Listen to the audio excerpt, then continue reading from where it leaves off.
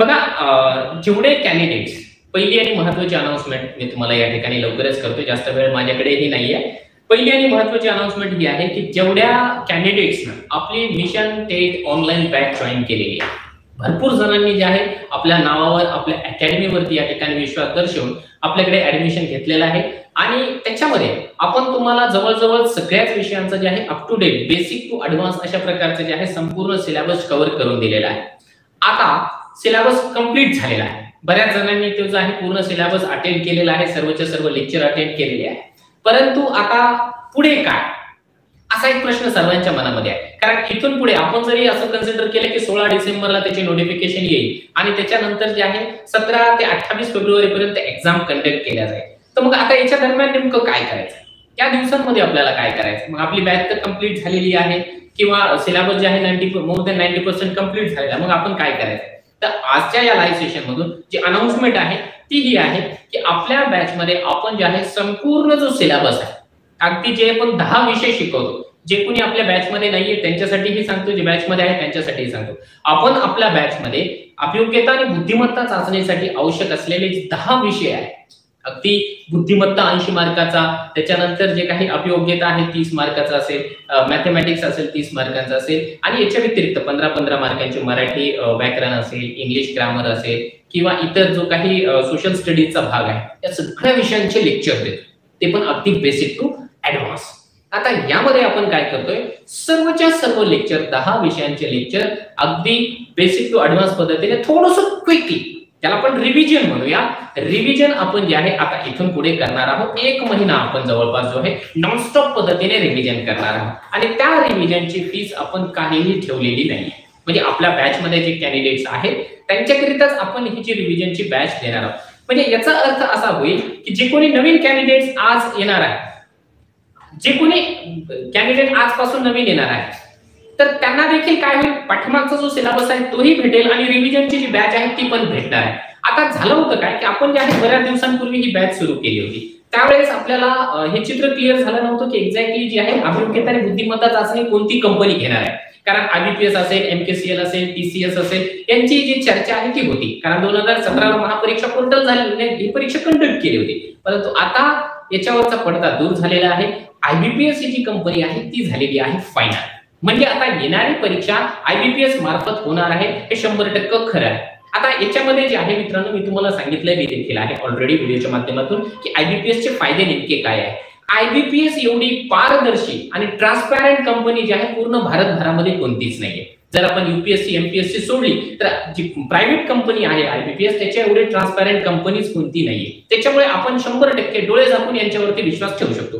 फक्त आता आपल्या कॅन्डिडेटच्या मनामध्ये एक खास भीती निर्माण झालेली आहे. आणि ती या त्या लोकांनी मनामध्ये घालून दिलेली भीती आहे की आता आयबीपीएस घेते म्हणजे पूर्ण पॅटर्न चेंज होणार आहे. आयबीपीएस ची जी परीक्षा आहे फारच कठीण असते. आयबीपीएस बँकिंगची परीक्षा घेतोय आयबीपीएस क्लरिकल एक्झामची परीक्षा घेतोय. आणि त्याच्यामुळे जे आहे पाठीमागे आपण जो शिकलोय तो सगळं आपलं व्यर्थ केलेला आहे.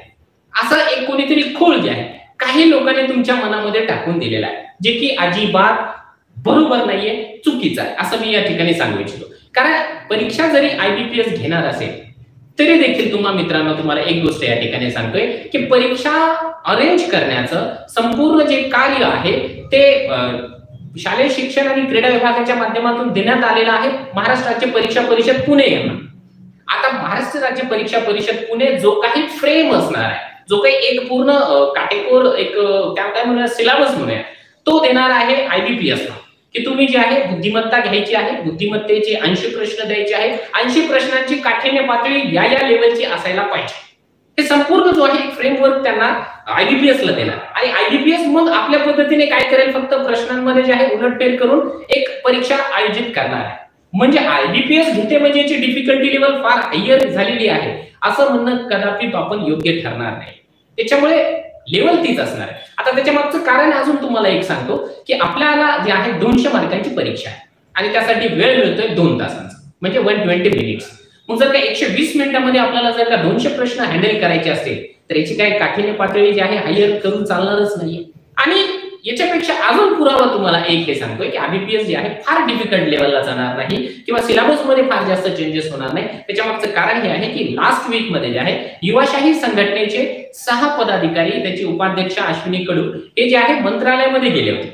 मंत्रालयामध्ये यांची जी आहे ऑफिशियल मीटिंग झालेली आहे. मीटिंगमध्ये आयुक्त ऑफिसचे राजेश शिंदे सर असतील त्याच्यानंतर परीक्षा परिषदेचे अधिकारी असतील त्याच्यानंतर आयबीपीएस कंपनीचे काही कर्मचारी हे तिथे उपस्थित होते. आणि त्या ठिकाणी जे आहे या सगळ्या बाबींवरती डिस्कशन झालेलं आहे. आणि त्यामध्ये आयुक्त ऑफिसच्या वतीने क्लिअरली सांगण्यात आलेलं आहे की आम्ही दोन हजार सतराचा जो जी आर आहे सिलेबसच्या बाबतीमधला तोच जी आर जो आहे तो आम्ही कॅरी फॉरवर्ड करणार आहोत. त्याच्यामुळे तुम्ही बिंदास्त राहा.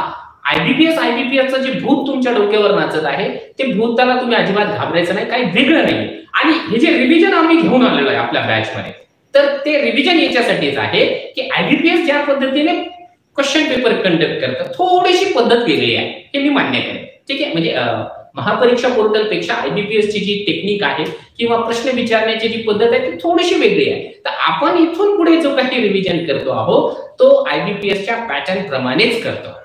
त्याच्यामुळे आपले जे कॅन्डिडेट्स आहेत म्हणून मी सांगत आहे की आपले आपल्या बॅच मधले जे कॅन्डिडेट्स आहेत जे की घाबरत आहे किंवा ज्यांच्या मनामध्ये संभ्रम अवस्था निर्माण झालेली आहे त्यांनी आता कोणत्याही प्रकारे घाबरायचं नाहीये चिंता सोडून द्यायची आहे आणि आता जे आहे आपल्या पुन्हा एकदा लेक्चरला फोकस करायचा आहे. कारण इथून पुढे जरी आपण म्हटलं बघा आता सोळा डिसेंबरला नोटिफिकेशनची शक्यता आहे. परंतु सध्या जर का आपण वरिष्ठ स्तरावरच्या हालचाली जर का बघितल्या तर सोळा डिसेंबरला नोटिफिकेशन येणं थोडंसं कठीण आहे. तर आपण असं समजून चालूया की दहा पंधरा दिवसांचा मागे पुढे होईल. समजा डिसेंबर एंडिंगला नोटिफिकेशन आली आणि फेब्रुवारी एंडिंगला न होता जर समजा मार्चच्या पहिल्या आठवड्यामध्ये जरी परीक्षा कंडक्ट जरी झाली तरी आपल्याकडे जे आहे जवळजवळ तीन महिन्यांचा कालावधी उरतो आहे. म्हणजे पूर्ण आपल्याकडे जे आहे नाईन्टी डेज आहे. मग तेवढ्या दिवसांमध्ये आपण सहजपणाने संपूर्ण सिलेबस एकदा रिवाईज करू शकतो. म्हणजे आपला इथून पुढे आपलं टार्गेट असणार आहे की एक महिना आपण आपल्या आयबीपीएसच्या पॅटर्न प्रमाणे पूर्ण रिव्हिजन घेणार. त्याच्यानंतर जे आहे आपण आपल्या बॅच मध्ये पूर्ण एक्झाम कंडक्ट करणार. म्हणजे आपण तुम्हाला प्रश्नपत्रिका देणार तुम्हाला अँसर की देणार आणि प्रत्येक प्रश्नाचं व्हिडिओच्या माध्यमातून स्पष्टीकरण देखील देणार आहे. जेणेकरून माझ्या बॅचचे मॅक्झिमम विद्यार्थी ज्यांनी आमच्या अकॅडमीवरती विश्वास ठेवून आमच्याकडे बॅच लावलेली आहे त्याच्यापैकी प्रत्येक विद्यार्थी हा येणाऱ्या कालावधीमध्ये मला प्रायव्हेट शिक्षक नव्हे तर तो जिल्हा परिषद महानगरपालिका नगरपालिकेचा शिक्षकच झालेला पाहायचा आणि ते स्वप्न पूर्ण करण्यासाठी आम्ही जे आहे पुन्हा एकदा नव्या जोमाने या ठिकाणी कामाला लागलेला आणि त्यासाठी आणखी एक सरप्राईज आजच्या या सेशनमध्ये मी तुमच्यासाठी ठेवलेला आहे. आता आजच्या या याच्यामध्ये सरप्राईज हे आहे की आतापर्यंत जसं तुम्हाला माहिती आहे जसं की आपले युवराज राठोड सर आपल्या बॅचमध्ये जे की आमचे सहकारी आहेत माझे जिवलग मित्र आहेत ते आपल्याला जे आहे मराठी व्याकरण या बॅचमध्ये देत होते. तर युवराज राठोड सर आहेत आणि जसं की पूर्ण महाराष्ट्र ज्यांना ओळखतो तुम्ही आम्ही सर्वजण ज्यांना ओळखतो आहोत जे ज्यांना की कोणत्याही इंट्रोडक्शनची आवश्यकता नाहीये. असे तुम्हा आम्हा सर्वांचे आवडते. विजय सुरासे सर आपल्या बॅचला या ठिकाणी रिव्हिजनच्या बॅचला जॉईन झालेले आहे. यांचा देखील आपल्याला पूर्णपणाने फायदा करून घ्यायचा आहे. आमचे मित्र युवराज राठोड सर आमचे सहकारी माझे वर्गमित्र म्हणा आमचे जीवलग म्हणा काही म्हटलं तरी चालेल. जे आपल्या बॅच मध्ये आहे त्यांना सर्वांना आमची जी मैत्री आहे त्याची खूप चांगल्या पद्धतीने कल्पना आहे. तर सर आपल्याला मराठीचं पूर्ण रिव्हिजन करून देतील. इथून पुढे जसं रेश्मा दिवसे मॅडमकडे आपण दोन विषय दिले होते. एक तर आपण रिझनिंग दिला होता तो त्यांनी संपूर्ण A to Z basic to advance complete करून दिलेला आहे. आणि आपण त्यांना अभियोग्यता दिला होता. जसं की तुम्हाला कल्पना असेल की विजय सुदासे सरांना आपण पहिल्यांदा ही विनंती केली होती की सर तुम्ही आमच्या या मिशन ट्रेड बॅचला शिकवा. परंतु सरांचं शेड्यूल एवढं बिझी आहे की सरांना काही अपरिहार कारणामुळे जे आहे आपल्या बॅचला अटॅच होता आलं नाही. शेवटी आज आपण तुम्हा आम्हा सर्वांचे योग चांगल्या पद्धतीने जुळून आलेले आहे. आणि सरांनी आमच्या विनंतीला मान देऊन किमान फुल फुलाची पाकळी आता जो काही अभियोग्यता या विषयाचं रिव्हिजन करणार आहे. तर विजय सुरासे सर आपल्याला जे आहे बेसिक टू ऍडव्हान्स आणि आयबीपीएसच्या जो पॅटर्न आहे त्या पॅटर्नच्या पद्धतीने जे आहे पूर्ण अभियोग्यता विषयाचं जे रिव्हिजन आहे ते करून देणार आहे. त्याबद्दल सरांना मी विनंती करेल की सर तुम्ही आमच्या जेवढी ऑडियन्स आहे आता सध्यामध्ये चारशे पंचावन्न आपले मित्रमैत्रिणी आपल्याशी अटॅच आहेत. आणि याच्यानंतरही बरेच जण आपल्याला पाहतील. तर त्यांना जे आहे थोडक्यामध्ये मार्गदर्शन करावं. आणि हे जे आयबीपीएसचं भूत आहे की बऱ्याच लोकांनी मनामध्ये घालून दिलं. तर तो थोडासा दूर करावा. कारण तुम्ही सगळे पॅटर्न घेतलेले तुम्ही टीसीएस पॅटर्न शिकवलाय. तुम्ही महापरीक्षा पोर्टलला हे शिकवलेलं आहे. आणि तुम्ही आयबीपीएस हे शिकवलाय. कारण सरांचा अनुभव माझ्यापेक्षा कितीतरी पतीनं गाढा आहे आणि फार सिनियर आहेत सर. आणि सर तुम्हाला बऱ्यापैकी आयबीपीएसचा पॅटर्न नेमका काय आहे? किंवा अभियोग्यतेमध्ये त्याच्यामध्ये प्रश्न जो महापरीक्षा पोर्टलला सतराला घेतलेली परीक्षा तो सिलेबस आणि आयबीपीएलचा सिलेबस याच्यामध्ये नेमकं काय डिफरन्स असेल ते थोडक्यामध्ये सांगेल सरांना मी विनंती करेन. धन्यवाद सर. सर्वप्रथम सरांनी जे काही आज या ठिकाणी जालन्याला सर आले आणि सरांनी त्यांचं मनोगत सांगितलं की सर महाराष्ट्रातील खूप विद्यार्थी खूप आपले शिक्षक थोडे डिप्रेशनमध्ये आहे टेन्शनमध्ये आहे की नेमकं पी ची परीक्षा कशी घेतली जाईल? किंवा बऱ्याच क्लासेसच्या संचालकांनी सुद्धा काय केले थोडस मुलांना भीती घातलेली आहे. त्यामुळं तुम्हाला सगळ्यात प्रथम सांगायचंय की घाबरून जाऊ नका. तुमच्या नेहमी तुम्हाला प्रोत्साहन देण्यासाठी तुम्हाला एकदम खरी खुरी माहिती सांगण्यासाठी रेहमान पठाण सर एक खऱ्या अर्थाने तुमच्या डीएड बीएड चे काय आहे दूत आहे खऱ्या अर्थाने की शासन आणि विद्यार्थी यांच्यामध्ये जे काही काय चाललं आहे हे सरांच्या चॅनलवरून खूप छान पद्धतीनं असतं. त्यामुळेच मी साहजिक त्यामुळे सरांशी काय झालेलं झुकलेलो आहे. तर घाबरून जाऊ नका परीक्षा कुठल्याही पद्धतीची जरी असली तरी सुद्धा आपण शिक्षक आहोत आणि आपण त्या लेवलची म्हणजे त्या काठीने पातळीची काय करणार आहोत तयारी करणार आहोत. आता साहजिकरित्या कसं असतं की परीक्षेला कालावधी किती आहे आणि त्याच्यामध्ये क्वेश्चन किती विचारले जाणार आहे याच्यावरती काय असते काठिण्य पातळी ठरते. जसं आपल्या टीईटी मध्ये दीडशे क्वेश्चन असतात आणि त्याला साधारणतः वेळ काय असतो? एक मिनिट असतो. परंतु इथं मात्र काय आहे? तेहतीस सेकंद आपल्याला एका प्रश्नाला मिळतात. दोन तास असल्यामुळे. तर साधारणतः एक लाईन जर वाचायला गेली ना आपल्याला तर पंधरा सेकंद लागत असतात. आकलन करायला जर गेलं तर आपल्याला त्याच्या त्या बौद्धिक क्षमतेनुसार ते असल्यामुळे तिथं जवळपास अर्धा मिनिट लागत असतो. त्यामुळं इथं क्वेश्चन तेहतीस सेकंदात सोडता येईल याच प्रकारचे असतात. आपण जर मागच्या पद्धतीनं जर बघितलं की शिक्षण शास्त्रामध्ये जे काही मूलभूत संकल्पना आहे त्याचे जे काही संशोधक आहे किंवा आपण त्याला जनक असं म्हणतो या लेवलचे वरचे वरचे क्वेश्चन तुम्हाला या ठिकाणी काय केले जातील? विचारले जातील. तर हा तो प्रश्न की ह्या ऍडव्हान्स बॅच मध्ये काय घेणार? तर साहजिकचरित्या ज्ञानावर आधारित असलेले क्वेश्चन असतील आकलनावर आधारित क्वेश्चन असतील किंवा उपजनावरचे. फक्त ज्याची ज्याला खूप कमी वेळ लागेल परंतु ते खरंच शिक्षण प्रक्रियेमध्ये ही संकल्पना खूप महत्वाची आहे. ती कळल्याशिवाय शिक्षक कळणारच नाही. म्हणजे अभियोग्यता काय चेक केली जाणार? तर हे त्या ठिकाणी काय केलं जाणार आहे? चेक केलं जाणार आहे. त्यामुळे तुम्ही घाबरेल जाऊ नका. आम्ही तुमच्या पाठीशी आहोत. आणि मी नक्की या निमित्ताने खात्री देऊ इच्छितो तुम्हाला की तुम्हाला या कोर्स मधनं जास्तीत जास्त काय पडतील मार्क पडतील यात काही शंकाच नाही. राहिला माझ्या विषयाचा तर नक्कीच तीस ते पस्तीस मार्काला हा विषय विचारला जाणार आहे. आणि याचा नुसता मार्कासाठी नव्हे तर आपल्याला शाळेमध्ये रुजू झाल्यानंतर खऱ्या अर्थाने कशा पद्धतीने आपण अध्ययन करायचं आणि कशा पद्धतीने विद्यार्थ्याला घडवायचं हेही कौशल्य तुम्हाला नक्कीच याच्यामध्ये अवगत होईल. एवढं बोलून थांबतो. आणि सर्वांना बेस्ट ऑफ लक घाबरू नका. रहमान पठाण सर त्यांची टीम तुमच्यासोबत आहे. धन्यवाद. धन्यवाद सर तुम्ही आमची बॅच जॉईन केली. आपल्या मुलांच्या मनामध्ये थोडासा जो काही संभ्रम होता जो काही गोंधळ होता किंवा जी भीती होती ती थोडीशी दूर झालेली असेल असं मी या ठिकाणी अपेक्षा व्यक्त करतोय. त्याच्यानंतर मित्रांनो बघा काही प्रश्न आहेत. वारंवार वारंवार एक प्रश्न फार येतोय की सीटीटी दोन हजार बावीस तेवीसच्या मुलांना अभियोग्यता चाचणीमध्ये चान्स मिळेल किंवा मिळणार नाही बघा एक जर आपण लॉजिकली बघितलं तर सीटीटीची परीक्षा या महिन्याच्या एंडिंगला सुरुवात होईल. कदाचित पंचवीस डिसेंबर क्रिसमस झाल्याच्यानंतर पंचवीस डिसेंबरला क्रिसमस असेल त्याच्यानंतर त्याच्या परीक्षेला सुरुवात होईल. आणि ही जी परीक्षा आहे पूर्ण महाराष्ट्र पूर्ण देशभर झाले आणि एक महिना परीक्षा झाले. म्हणजे फेब्रुवारी एंडिंग पर्यंत. आणि त्याचा जो निकाल आहे तिथून पुढे एक महिन्याला लागेल.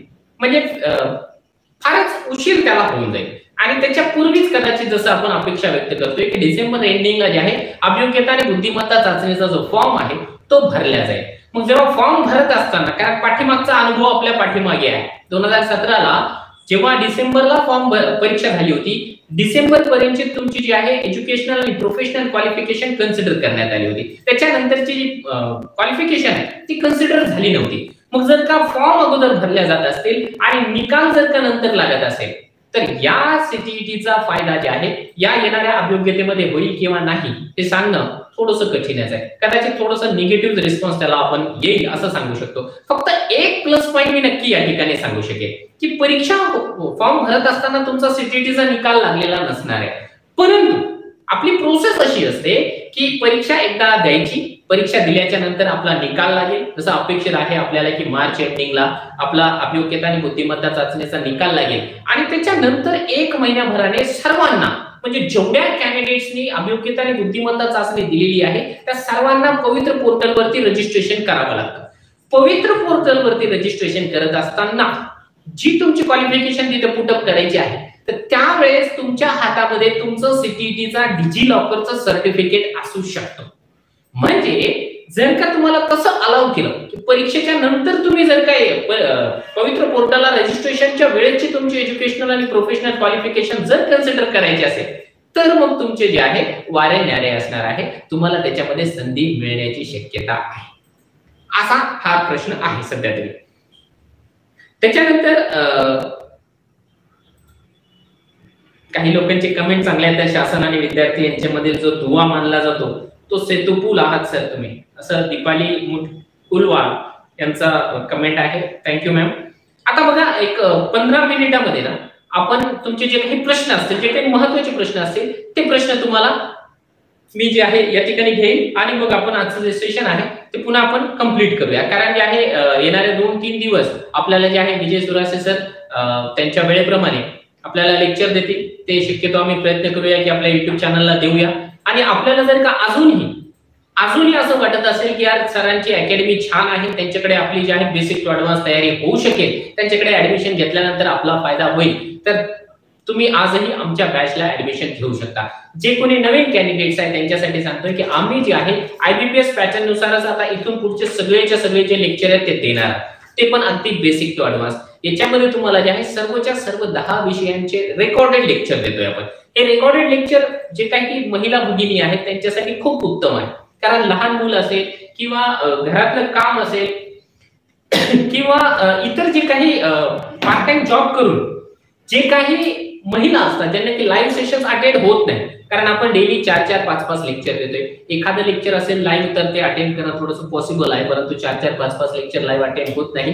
त्या महिलांसाठी किंवा इतर जे काही माझे पुरुष मित्र आहेत त्यांच्यासाठी देखील रेकॉर्डेड लेक्चर त्यांना त्यांच्या वेळेप्रमाणे पाहता येतात. त्याच्यासोबतच आपण सर्व विषयांच्या पीडीएफच्या स्वरूपामधल्या पीडीएफ नोट्स देतो. या नोट्सला तुम्हाला प्रिंट आउट करायचं तर तुम्ही प्रिंट आउट करू शकता. आणि याच्यासोबतच आपण प्रॅक्टिस पेपरही घेतोय. आणि जे नवीन कॅन्डिडेट्स आहेत ज्यांना माहिती नाही रहमान पठाण कोण आहे किंवा वायपी अकॅडमी नेमकं काय आहे त्यांच्यासाठी एक गोष्ट नक्की सांगतो की आता आपण मिशन टीईटी ही बॅच घेतली होती. त्याच्यामध्ये आपल्याकडे जवळपास जे आहे पूर्ण महाराष्ट्रातल्या विद्यार्थ्यांनी आपल्यावरती विश्वास टाकून भरपूर जणांनी ऍडमिशन केलं होतं. त्याच्यापैकी आपल्या एक बॅच मध्ये आत्ताची जी बॅच आहे दोन हजार एकवीस ची चारशे तीन विद्यार्थी आपल्या बॅचचे पास झालेले आहेत.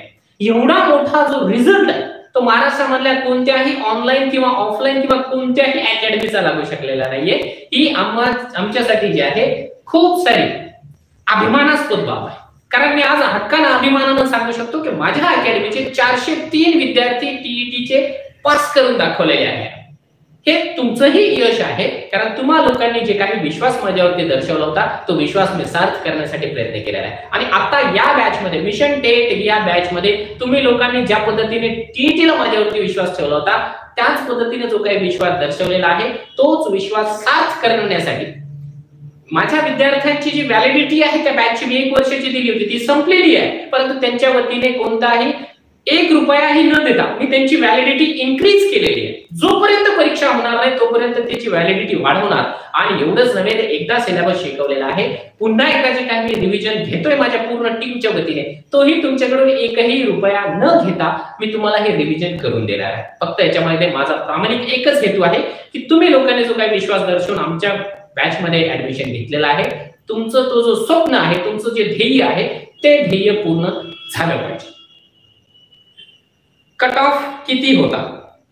किंवा आता कट ऑफ किती लागेल हा एक प्रश्न आहे. बघा आता सध्याचा जर कट ऑफ बघितला आपण जो की पवित्र पोर्टलला जी भरती चालू आहे त्याचा कट ऑफ जवळपास एकशे पंचवीसच्या आसपास आहे. ठीक आहे? एकशे पंचवीसच्या आसपास. कोणता ओपनचा कट ऑफ जर आपण बघितला फक्त सध्या तरी तर एकशे पस्तीस आहे. ठीक आहे? ओबीसीचा बघितला आपण ओबीसीचा तर ओबीसीचा एकशे तेहतीस वर थांबलेला आहे. त्याच्यात एवढंच जे आहे ईडब्ल्यू चा पण कट ऑफ तेवढाच आहे. एकशे बत्तीस वर आहे. कारण आमच्या बॅच मध्ये तुम्हाला जे रिझनिंग आहेत किंवा ज्यांनी आतापर्यंत जे आहे अं, अभिज्ञता विषय शिकवला रेश्मा दिवसे मॅम त्यांचा स्कोर एवढाच होता आणि त्या E ईडी कोट्यामधूनच जे आहे ते लागलेले ते ऍज अ टीचर म्हणून लागलेले आहे त्याच्यानंतर जो एस सी असेल एससीचा जो कट ऑफ आहे तो वन ट्वेंटी एट आहे. म्हणजे अराउंड एक गोष्ट आपल्याला लक्षात घ्यायची आहे की एकशे तीसच्या आसपास आत्ताचा कट ऑफ होता. आता पहिली आणि महत्वाची गोष्ट की दोन हजार सतराला जी परीक्षा झाली त्याच्यानंतर जी जाहिरात आलेली आहे त्या जाहिरातीमध्ये एकूण ज्या जागा होत्या मित्रांनो. त्या जागा होत्या बारा हजार. ठीक आहे? बारा हजार जागा होत्या. आणि विद्यार्थी किती होते ज्यांनी जी परीक्षा दिलेली आहे? तर एकूण विद्यार्थी होते एक लाख पंच्याण्णव हजार. एक लाख पंच्याण्णव हजार. एवढे विद्यार्थी होते. म्हणजे एवढ्या विद्यार्थ्यांमध्ये कॉम्पिटिशन झालेलं आहे बारा हजार जागांसाठी. आणि त्यांचा जो काही कट ऑफ आलेला आहे तो या पद्धतीने साधारणपणे एक दोन मार्काचा मागे पुढे होऊ शकतो. परंतु आता येणाऱ्या काळामध्ये म्हणजे दोन हजार एकवीस ला जी काही बुद्धिमत्ता आणि अभियोग्यता चाचणी होणार आहे त्याच्यामध्ये एकूण जागा किती येणार आहे? तो एक महत्त्वाचा प्रश्न आहे. है ना? आता सध्याच्या घडीला मित्रांनो जर का आपण बघितलं कारण तुमच्या मनामध्ये जर का जागा माहिती पडल्या तर तुम्हाला जे आहे अभ्यासाला जास्त हुरूप येईल. म्हणून या गोष्टी मी तुम्हाला थोडक्यामध्ये सांगू इच्छितो. बघा आता सध्या जर आपण शासनाचं बघितलं ऑफिशियल स्टेटमेंट ठीक आहे? शासनानं जे काही विधिमंडळामध्ये मागचं जे अधिवेशन झालं होतं उन्हाळी पावसाळी अधिवेशन त्या पावसाळी अधिवेशनामध्ये आपल्याला सांगण्यात आलेला एकसष्ट हजार एकशे अकरा जागा महाराष्ट्रामध्ये रिक्त आहे आता याच्यापैकी आपण फार जास्त अझ्युम करत नाही आपल्याला किमान याच्या ज्या आहेत पन्नास टक्के जागा हव्या आहेत. किमान. ठीक आहे जेवढे जास्त मिळतील तेवढं तर आपल्याला बोनस असेल. परंतु मिनिमम आपण अपेक्षा व्यक्त करतो की पन्नास टक्के जागा याव्या आणि जर का तुम्हाला सांगितलं ना प्रायमरीच्या जागा फक्त प्रायमरीच्या जागा आहेत एकतीस हजार. ठीक आहे एकतीस हजार. फक्त प्रायमरीच्या जागा आहे. आता याच्यापैकी अर्ध्या जरी भरल्या तरी त्या जागा आपल्याला मित्रांनो किमान या ठिकाणी ज्या आहेत पंधरा हजार येऊ शकतील पंधरा हजार. आणि त्या जागा पंधरा हजार म्हणजे खूप जास्त झाली. म्हणजे एकूण कितीही नाही जरी म्हटलं आपण किती जरी नाही म्हटल्या तर प्रायमरीच्या पंधरा हजार जागा जरी नाही आल्या तर प्रायमरीच्या दहा हजार आणि त्याच्यानंतर अपर प्रायमरीच्या काही जागा आणि हायर स्कूलच्या काही जागा. अशा म्हटल्या तरी वीस हजारापेक्षा जास्त जागा आपल्याला ज्या आहेत या भरतीमधून सहजपणाने शक्य आहे आणि तेवढ्या अपेक्षा देखील असणार आहे. आणि मित्रांनो जर वीस हजार जागा जर का पोर्टलला येत असतील तर मग तुमचा प्रश्न आहे मग आम्हाला मार्क घ्यायचे किती? कारण आता मॉक जास्त आहे. आज जर महाराष्ट्रामध्ये जर का आपण अपेक्षा व्यक्त केली की दुसरी अभियोग्यता चाचणी किती विद्यार्थी देणार आहेत किंवा देऊ शकतील तर तो आकडा पाच लाखांच्या आसपास आणि हा ऑथेंटिक आकडा आहे. पाच लाख विद्यार्थी जे आहे जे की डीएड बीएड करून बसलेले आहेत वेटिंगला आहेत की जे कधी अभियोग्यता चाचणी होती आणि आम्ही कधी ती परीक्षा देतो. आता एवढ्या विद्यार्थ्यांमधून आपल्याला मेरिट करायचं आहे.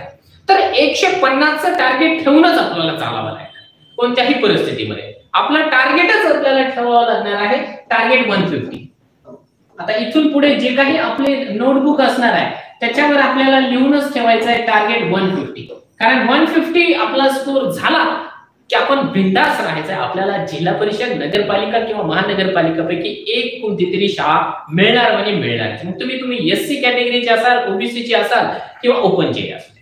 फक्त एसटी कॅटेगरीचे आपले जे मित्रमैत्रिणी आहेत त्यांना थोडस जास्त कमी मार्क जरी असतील तरी चालतं. कारण आपला इतिहास आहे. दोन हजार सतराचा इतिहास जसं मी वारंवार सांगत असतो की एकोणतीस मार्क फक्त ओनली ट्वेंटी नाईन मार्क्स असलेली एक महिला जी आहे एस टी कॅटेगरीची पाठीमागच्या भरतीमध्ये लागलेली आहे. विचार करा दोनशे मार्कांपैकी फक्त एकोणतीस मार्क असलेली कॅन्डिडेट आज जिल्हा परिषदेला शिक्षिका आहे. म्हणजे फक्त तो एस टी कॅटेगरीचा जर सोडला एस टी पेसाची महिला होती ती एवढं लक्षात घ्या. म्हणून आपण जे आहे टार्गेट ठेवायचं आहे वन फिफ्टीचं आपल्याला जागा किती येऊ शकतील? तर जागा वीस हजारापेक्षा जास्त येऊ शकतात. कितीही नाही म्हटलं शासनानं किती जरी जागा कपात केल्या तरी वीस हजार जागा सहजपणाने येऊ शकतील आणि शक्यता देखील तेवढी आहे. आता काही जणांचा प्रश्न येतो की सर मग वीसपेक्षा कमी पटाच्या शाळा बंद होतात का काय? तर बघा शासनानं ती जी आहे फक्त एक अशाच प्रकारची काय म्हणूया अफवा सोडली होती. त्याला खूप जास्त प्रमाणावरती चोहीकडून जे आहे विरोध झाला. आणि त्याच्यानंतर तसं तुम्ही जर का अपडेट असाल तर शासनाने अगोदर वीसपेक्षा कमी पटाच्या शाळा याची यादी पाठवली होती. मागून घेतली होती. त्याच्यानंतर फक्त त्यांनी सांगितले की पाच पेक्षा कमी पटाच्या शाळा ज्या आहेत त्या आम्हाला सांगा. म्हणजे कदाचित असं होऊ शकेल की पाच पेक्षा कमी पटाच्या शाळा बंद होऊ शकतील. परंतु ते बंद नाही होणार त्याचं समायोजन होईल आणि फार जास्त त्याचा इफेक्ट होणार नाही. कारण पाच पेक्षा कमी पटाच्या शाळांमध्ये एकच शिक्षक आहे. म्हणजे ती एक शिक्षक ही शाळा आहे. आणि आता जर आपण बघितलं असेल या कोरोनाच्या कालावधीमध्ये शासनानं जिल्हा परिषद शाळांना खूप चांगल्या प्रमाणावरती डेव्हलप केलेलं आहे अनुदान दिलेलं आहे. त्याच्यामुळे जिल्हा परिषद शाळांमध्ये देखील विद्यार्थ्यांची संख्या वाढत आहे. आणि तुम्हा आम्हा सर्वांसाठी ही एक चांगली गोष्ट आहे. कारण जिल्हा परिषदेमध्ये जर का विद्यार्थी वाढले तर साहजिक आहे त्यांच्या संच मान्यतेनुसार तिथली जी पदं आहेत ती देखील वाढलेलीच असणार आहे. आणखी काही प्रश्न घेऊया? सर एक पाच मिनिट आहे ना? आपल्याकडे? शेवटचे पाच मिनिट. ठीक आहे.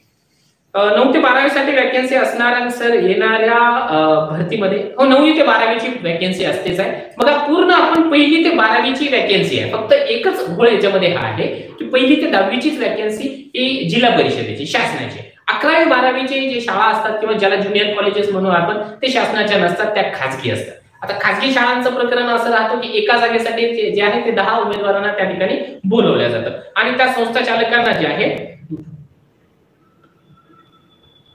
ती संधी असते.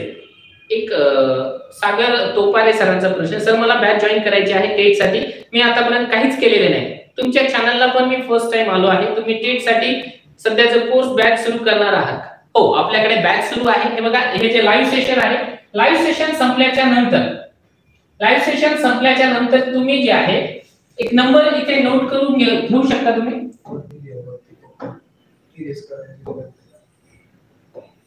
चेंज करू हे दिसत नसेल तर. इथे लिहूया.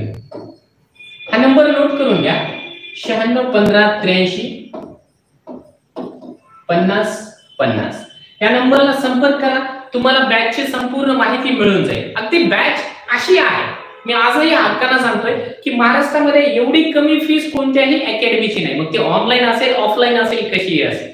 एवढे विषय शिकवणारी अकॅडमी आणि एवढ्या कमी फीसमध्ये संपूर्ण बॅच रिव्हिज रिवाइज करून देणारी अकॅडमी आमच्यापेक्षा कोणतीही नाहीये. तुम्ही या ठिकाणी जे आहे कॉल करू शकता. आपलं लाईव्ह सेशन संपल्याच्या नंतर तुम्हाला संपूर्ण माहिती दिली जाईल. आता सांगितल्याप्रमाणे दहा विषयांचे recorded lecture PDF notes practice paper असं एक कंप्लीट पॅकेज आपण त्यांना देतो जा आणि अगदी तुम्ही फॉर्म कसा भरायचा तिथून ते तुम्ही जिल्हा परिषद प्रायव्हेट संस्थेला जॉईन झाल्यानंतर शालार्थ आयडी येऊन जोपर्यंत तुमचा पेमेंट तुमच्या खात्यावर पडत नाही तोपर्यंत मी तुमच्यासोबत असतो. कारण माझं युट्यूब चॅनल आहे. मी प्रत्येक गोष्ट तुम्हाला गाईड करत असतो. त्याच्यामुळे जे आहे तुम्ही बिंदास डोळे झाकून आमच्यावरती विश्वास ठेवून या ठिकाणी बॅच मध्ये ऍडमिशन करू शकता. तुमच्या सर्वच्या सर्व शंकांचं शंभर टक्के निरसन करून दिला जाईल.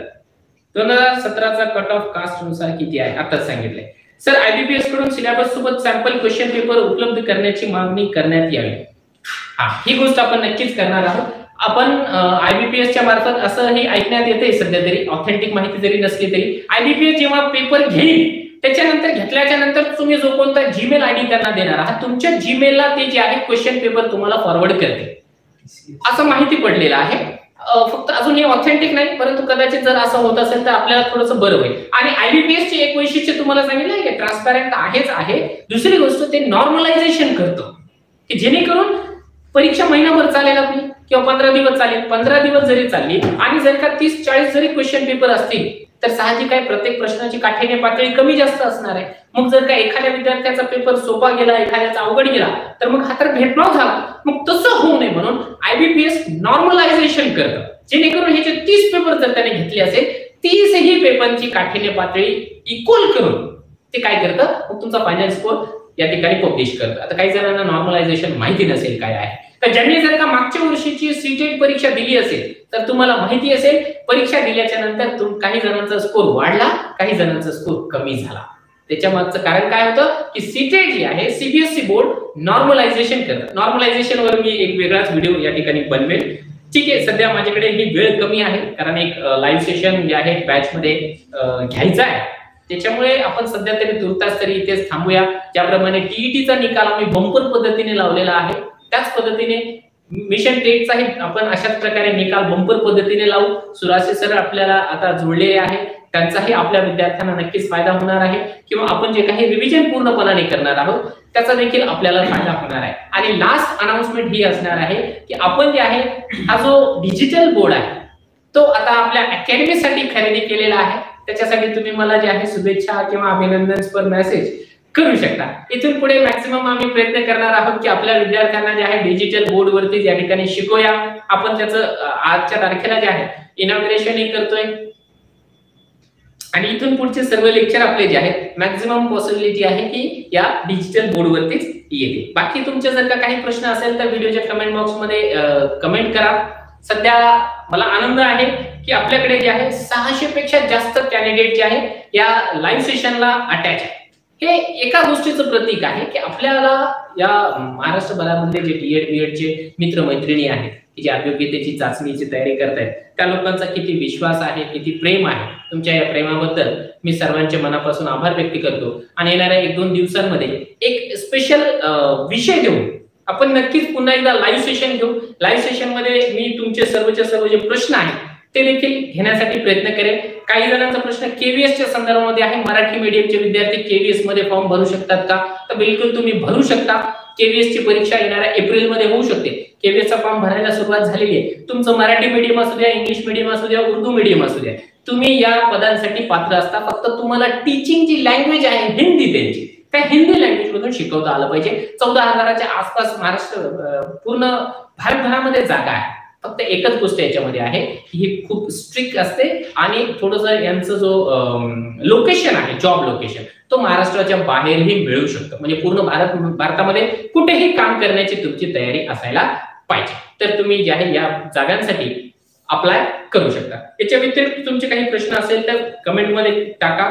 मी जे आहे नंतर तुम्हाला जे आहे नक्की उत्तर देईल. पुन्हा आपण जे आहे वारंवार लाईव्ह सेशन घेणारच आहोत. सर्वजण या लाईव्ह सेशनमध्ये सहभागी झाले त्याबद्दल सर्वांचे मनापासून आभार. आणि आपण या बॅचला ऍडमिशन घ्या ज्यांना ज्यांना इच्छा आहे अशी मी अपेक्षा व्यक्त करतो. आणि आजचं हे जे लाईव्ह सेशन आहे ते थांबवतो. जय हिंद.